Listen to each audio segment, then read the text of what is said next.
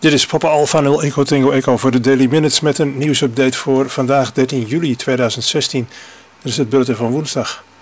Vandaag morgen, dat is een herhaling en dan SSTV, een nieuw plaatje in PD50.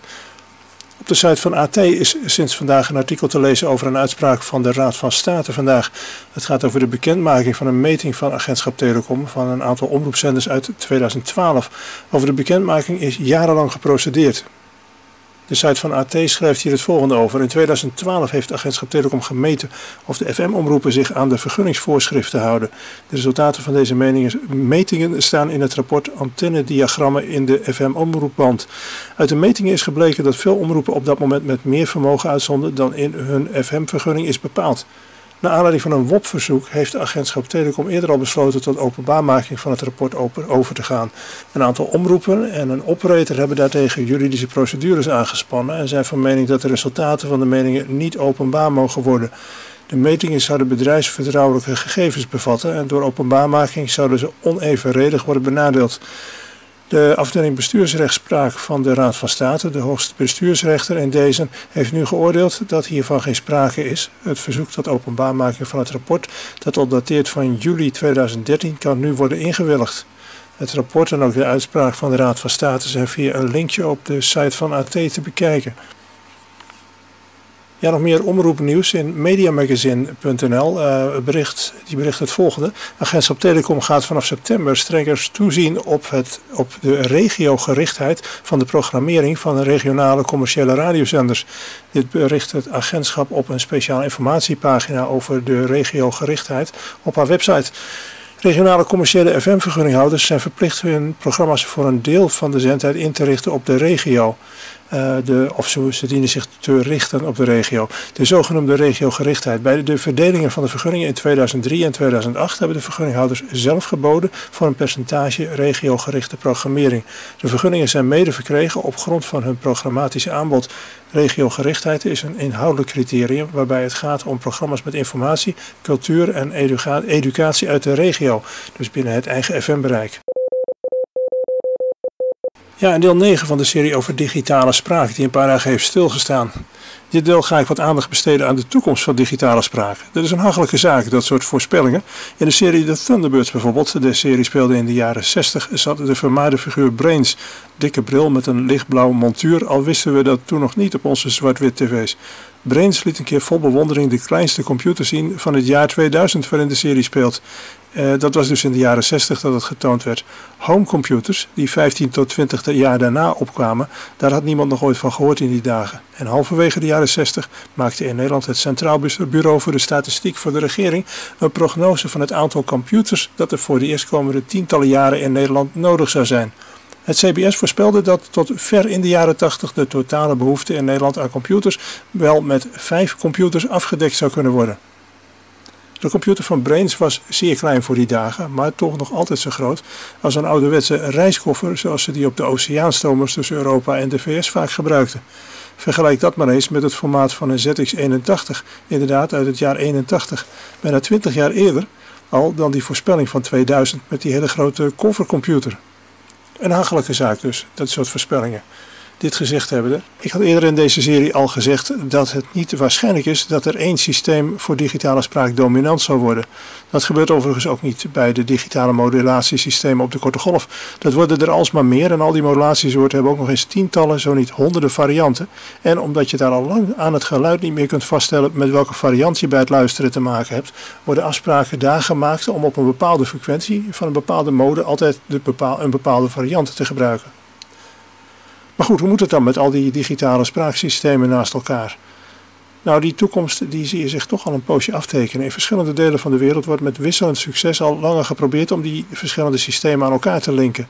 In Nederland heb je bijvoorbeeld de verbinding die op XRF 088A en XRF 088B bestaat. Tussen die staat een DMR heen en weer. De geluidskwaliteit van die verbinding laat nog wat te wensen over, maar wel wordt netjes de roepnaaminformatie in het display van de ene naar de andere modus overgebracht en de verbinding is zeker bruikbaar. Voor D-Star zijn er sinds kort trouwens al reflectors, XLX-reflectors, die alle drie verschillende reflectiesystemen die je bij D-Star hebt met elkaar laat communiceren.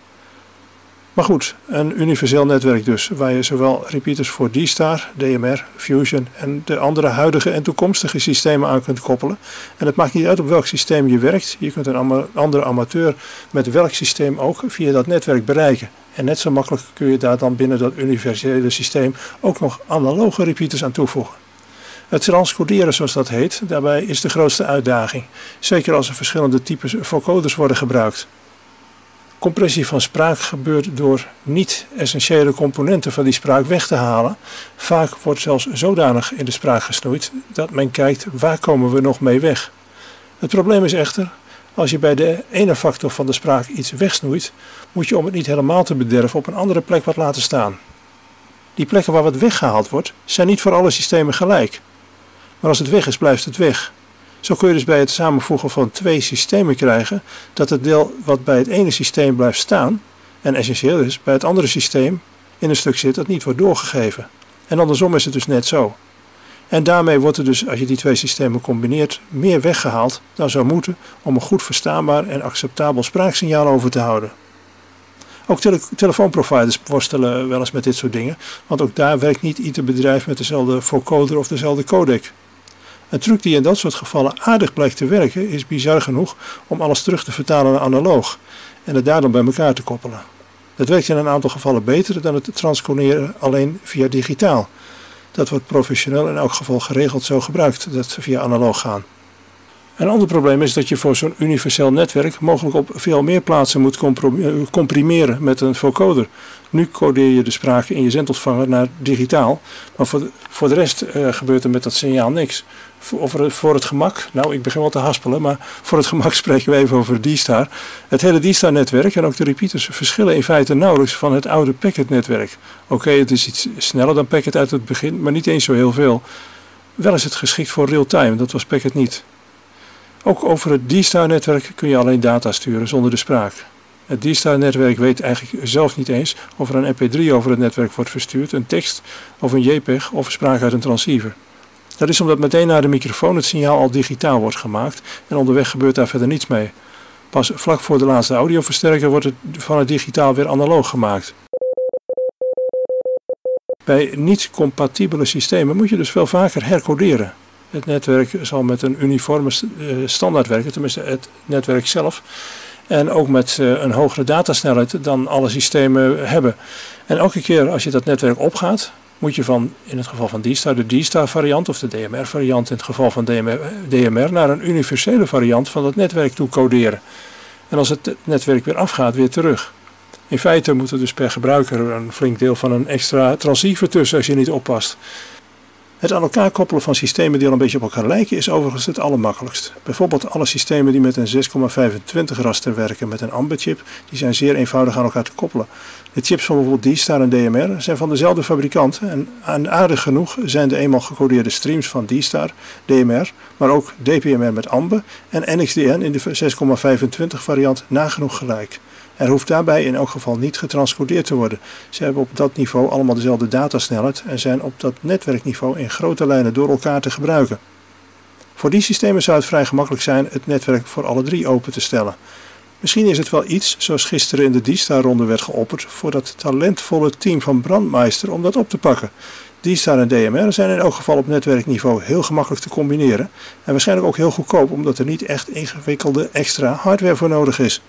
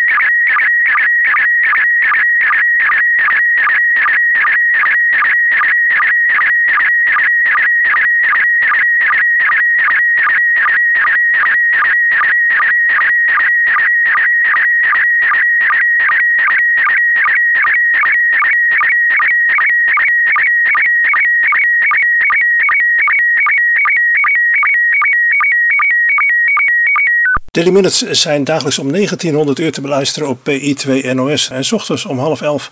Aanvullende informatie bij de uitzendingen is te vinden op www.pa0ete.nl. Mail verder gerust je tips, commentaar en desnoods prietpraat naar x xdv.me.